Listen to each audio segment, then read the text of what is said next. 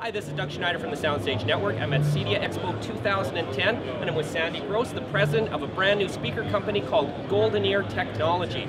GoldenEar has made quite a splash by debuting several new products at this show, including the Triton 2 loudspeaker. Sandy, can you tell us a little bit about GoldenEar and the inspiration behind this product? Absolutely. The shape of the speaker is something that I work very hard on.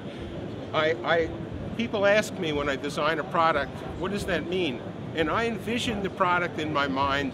I sketch it out sort of like on a napkin, that classic, classic expression, and then I go to my industrial designer, describe to him what I want. In this case, I wanted a speaker that had a curved front because I think it looks really great. It gets a little wider as it goes back, the curved back, the way we've done the bass. He then comes at me with his first take on it, we look at it together and then I go back at him and he comes back at me and it's back and forth and back and forth. Every little detail, the radius is here.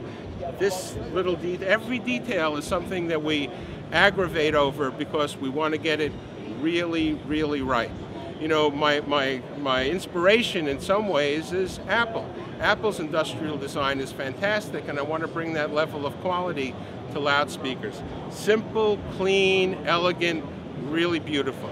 The Triton Tower is using a high velocity folded ribbon. This is a unique type of driver rather than moving forwards and backwards. It's pleated like an accordion and it moves like this and it squeezes the air out for better impedance matching to the room, which means more extended, smoother, more open sound. It's surrounded by two cast basket based mid-range drivers.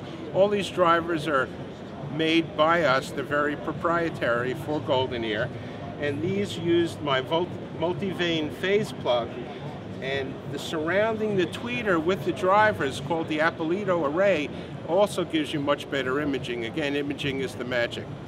The, there are two quadratic active bass drivers, subwoofer drivers, driven by our 1200 watt digital amp. And these are coupled to two large quadratic passive radiators down on the sides on the bottom, which extend the bass response down below 20 cycles. Now one interesting thing here at the show is we're demonstrating the speakers in stereo with music.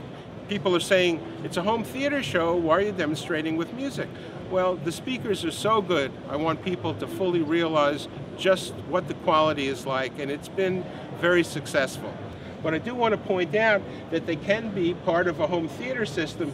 We have a center channel and rear surrounds that match them perfectly that are also available for the complete surround system. Sandy, what does the Triton 2 retail for? These are $2,500 a pair retail. And when are they available? They will be available, hopefully shipping in November sometime. Okay, thank you very much.